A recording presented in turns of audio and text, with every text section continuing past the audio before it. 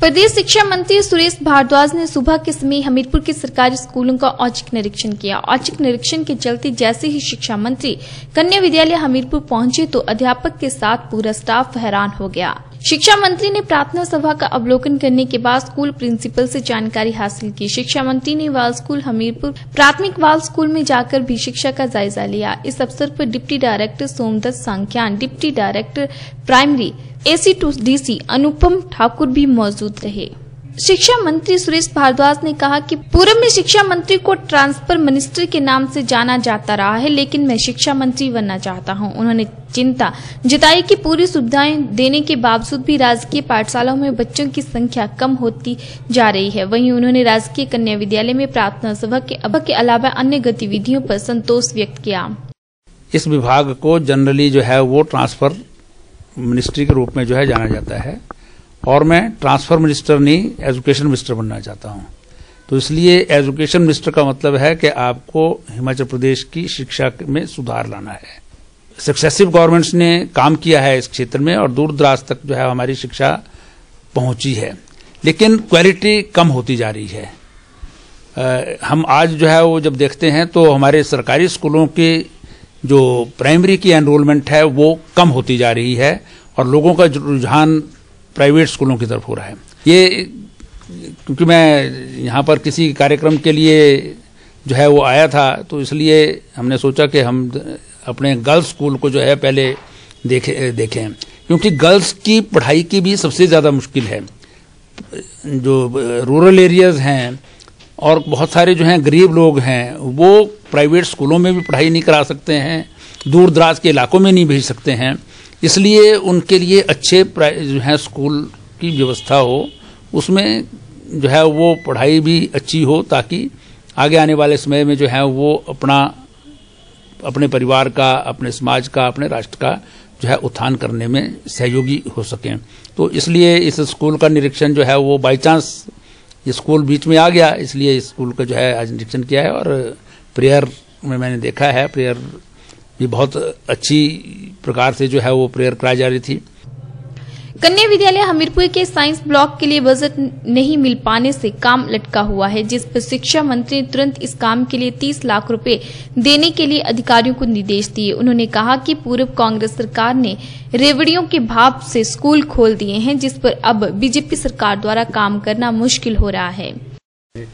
मुझे एक घोषणा बताई गई है जो साइंस ब्लॉक का यहाँ पर निर्माण होना है। उसके लिए तीस लाख मिल गया है।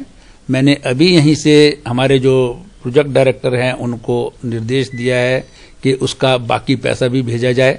और पीडब्ल्यूडी के अधिकारियों से भी यहीं से मैंने जो है, उन्हें कहा है कि इसकी जो है, वो टेंडर प्रक्रिया, अवार्ड इत्यादि तुरंत करके काम प्रारंभ कर दिया जाए। पैसा शिक्षा विभाग पूरा देगा। और तुरंत जो है इसकी काम शुरू करके जल्दी से जल्दी जो है वो उसको बनाया जाए। जिस प्रकार के निर्माण के काम हैं, दूसरे हैं, उनको जो है हम शीघ्रता से पूरे करेंगे। लेकिन पिछली सरकार ने बहुत सारे ऐसे भी निर्णय लिए हैं, जो शायद कई स्थानों पर करना संभव नहीं होगा, क्योंकि उन्होंने जाते जाते रेवड़ियों के भाव में जो है वो स्कूल खोल दिए।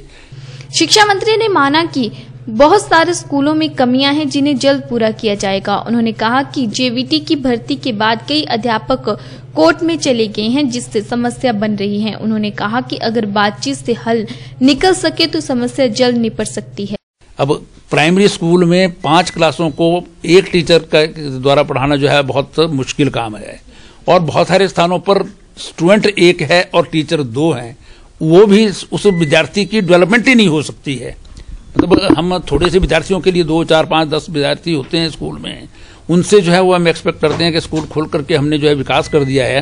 लेकिन उस छात्रों का तो जो है वो नुकसान हो गया है। लेकिन बहुत सारी कंसिडरेशन रहती हैं। कई बार स्कूल खोलते हैं। उसके लिए मैंने माननीय मुख्यमंत्री जी से आग्रह किया है सारे जो इलेक्टेड रिप्रेजेंटेटिव्स हैं, हमारे पंचायती राज के, नगर निकायों के या विधायक हैं, उनसे आग्रह करें कि भी वो इस प्रकार की व्यवस्था में सहयोग दें कि किस प्रकार से हम इन सारे विद्यालयों को जो है, वो कहीं क्लस्टर के रूप में क्या कर सकते हैं। इकट्ठे मिलकर के दो तीन स्कूल जो है, मिल जाएँ, बच्चे भी ज़्यादा बढ़ेंगे और टीचर भी इकट्ठे जो है, वो सारी क्लासेस को पढ़ा सकेंगे।